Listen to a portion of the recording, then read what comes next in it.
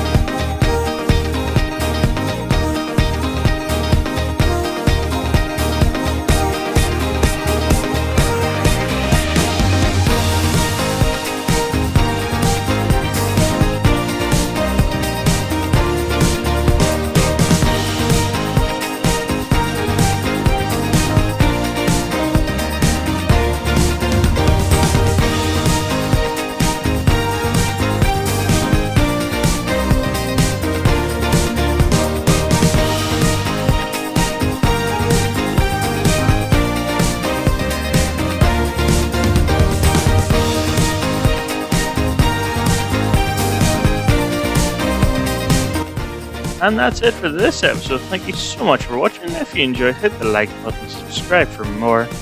I don't know how many more outros for this season or series that I will be doing, but I did see a long ass part of the song left, and I really just didn't want to cut it short. Um, it's on Epidemic Sound. All the music that you heard, all the links are in the description below. Uh, you can always check them out, and I shall hopefully see you in the next one. Peace.